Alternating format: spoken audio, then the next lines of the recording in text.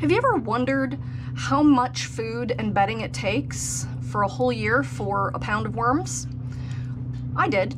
And this experiment that I am doing right now is I am going to weigh all of the food and bedding that I am giving these one pounds of worms over the course of the next year or until they are finished making their castings.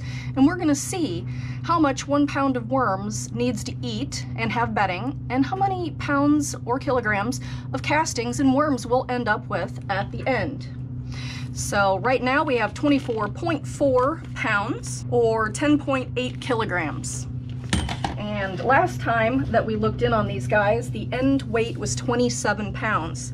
So it looks like they've lost quite a bit of weight, probably moisture. It's only 61 degrees in the basement here, and so these guys have uh, probably dried out some.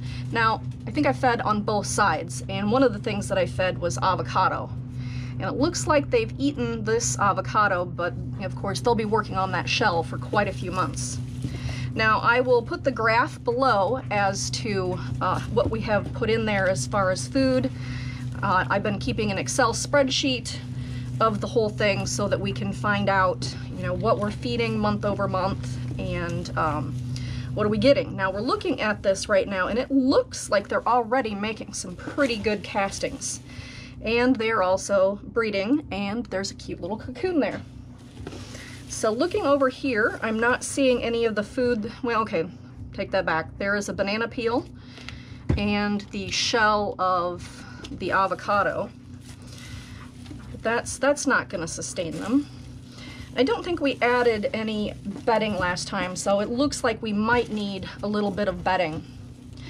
So I kind of have hypothesized that it is going to take um, 10 times the weight.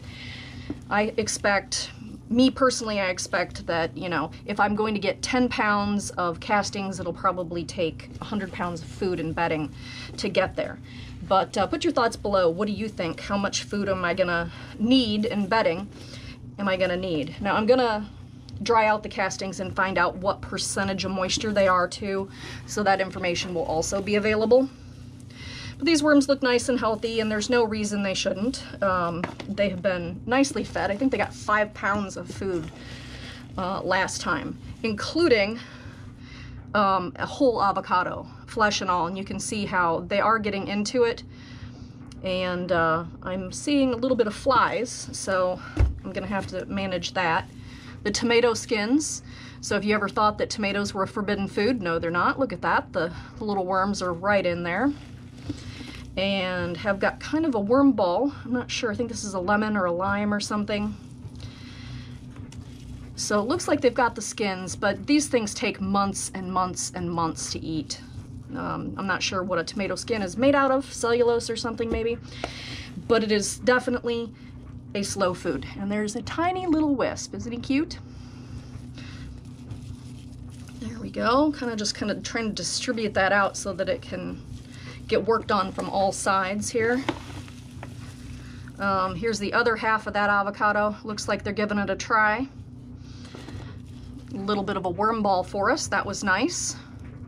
Good worms. So as I expected, that avocado is going to be a very slow food. Um, unfortunately, it never did ripen after a month on the countertop, so I had to call it, and uh, the worms were the benefactors there. All right, so let me, now that we've uh, rummaged through here and had a look to see what they're doing, let's go get them some bedding. So after I fluffed it up and distributed it on the scale, it says 23.8. We haven't added anything. Now let's add some bedding. Just kind of dig a bit of a hole here.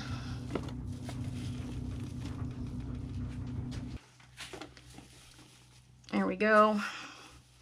That's a pretty good amount for right now. And that looks like that would, now we're up to 25.4. Let's get them some food.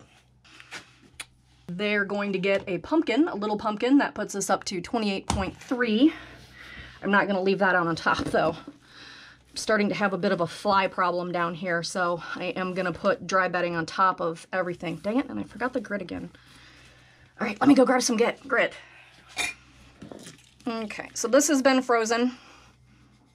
So we'll just give them a bit of grit there. Cover that up and I'm gonna give them more bedding on top to keep the flies out. That is a, a, tip. If you are new to worm farming and you're finding that you're having problems with flies and other bugs, by putting dry bedding on the top, then the flies can't really get in there and um, get to the food or smell it and they tend to stay out. They won't want to lay their um, eggs or anything on top of dry bedding. So although this is a little damp right now, um, it is 45% humidity down here, so it's gonna dry out pretty fast. Final pounds on this are 31 even, and that is 14.05 kilograms. So if you're enjoying this experiment, why not give it a muddy thumbs up? And if you're not a member of my worm family, click that subscribe button. And if you want to know what I'm doing when I'm doing it, ring that bell icon. All right, guys, thanks for hanging out with me and my worms, and everybody, have a good day.